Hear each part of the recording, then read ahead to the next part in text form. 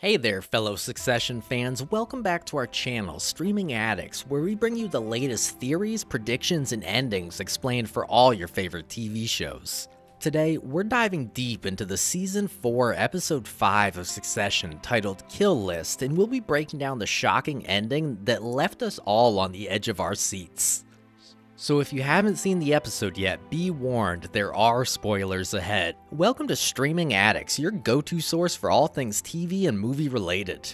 Our channel is dedicated to bringing you the latest news, reviews, and analysis of your favorite shows and films. From the hottest new releases to classic favorites, we cover it all. Whether you're a die-hard fan or just looking for something new to watch, our team of dedicated experts has got you covered. We'll guide you through the twists and turns of your favorite shows, break down the endings, and explore the deeper themes and hidden meanings behind your favorite films. So sit back, relax, and get ready to dive into the world of streaming entertainment with us. Don't forget to hit that subscribe button and turn on notifications so you never miss an episode. Died yesterday. It was a couple of days ago, so. You don't have anywhere to go. I think as you watch with Matt. In the latest episode of Succession, titled Kill List, the Roy family's power struggles continue as the siblings navigate negotiations with the wealthy media conglomerate Matsson.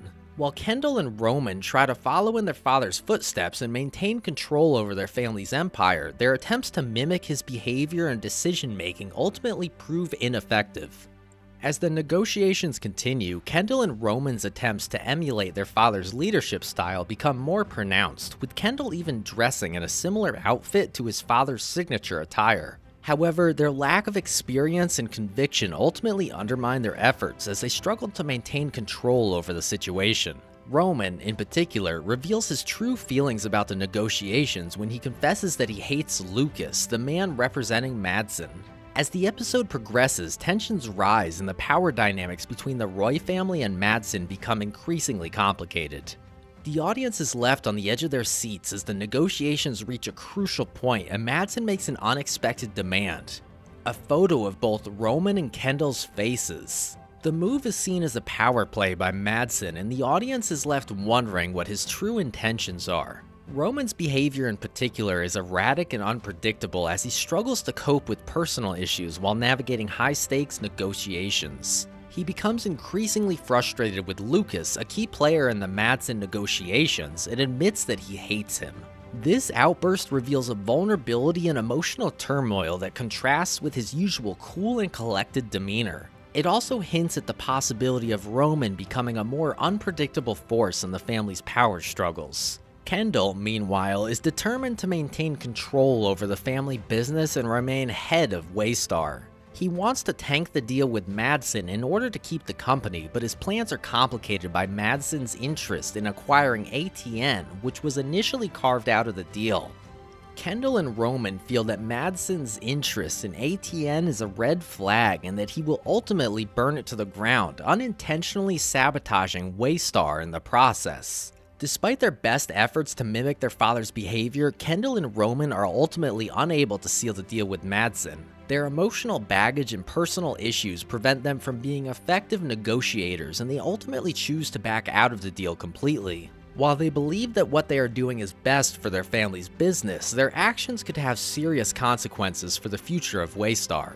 Succession has always been known for its portrayal of complex and flawed characters, and this episode is no exception.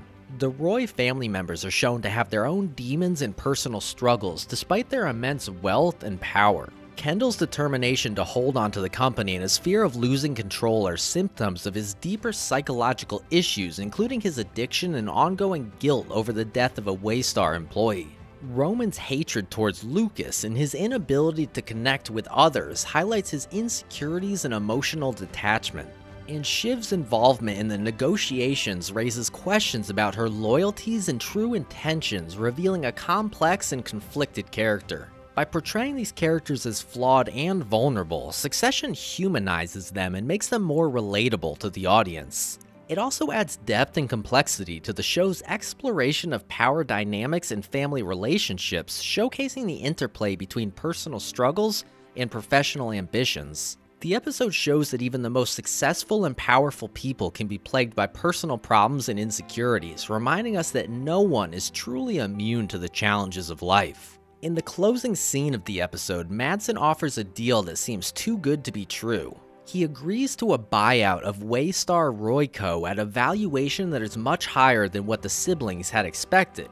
But there is a catch. He wants a photo of both Roman and Kendall's faces. This move is clearly a power play on Matsson's part, as he knows that the brothers are reluctant to accept the deal and want to keep control of the company. By forcing them into a difficult situation, Matsson is hoping to get the last laugh. Shiv's involvement in the deal also raises some questions about her true intentions. Throughout the episode, she has taken a back seat, but in the final moments, we see her sending the photo to Matsson.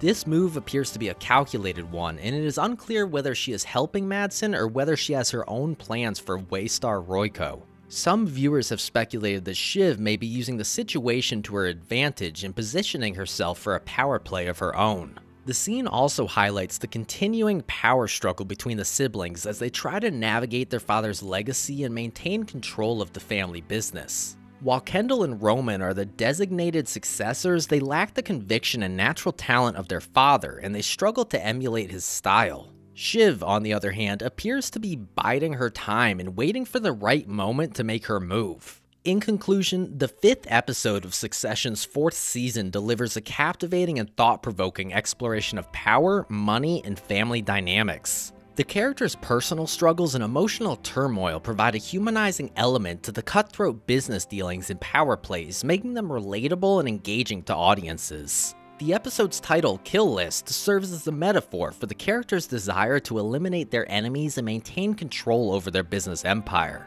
However, as we see throughout the episode, things are never that simple, and even the most calculated plans can unravel in unexpected ways. The episode's ending leaves us with many questions and speculations about what's to come. Will the siblings accept Matsson's deal or will they stick to their guns and try to maintain control over Waystar? What are Shiv's true intentions and how will her actions affect the family's power dynamic? One thing is for sure, Succession continues to deliver compelling storytelling and complex characters that keep viewers engaged and invested in the story. The show's exploration of wealth, power, and family dynamics feels timely and relevant in today's world, making it all the more engaging to watch. As the season progresses, it's clear that the stakes will only continue to rise and tensions will continue to escalate. Succession is a must watch for anyone who loves a good drama, and we can't wait to see what happens next in this enthralling story of power, money, and family. Thank you for joining us today for our breakdown of the ending of Succession Season 4, Episode 5. We hope you found our analysis and insights informative and entertaining. If you did, please consider subscribing to our channel for more content like this. At Streaming Addicts, we pride ourselves on delivering the latest and greatest in TV and movie analysis, from endings explained to character breakdowns and everything in between.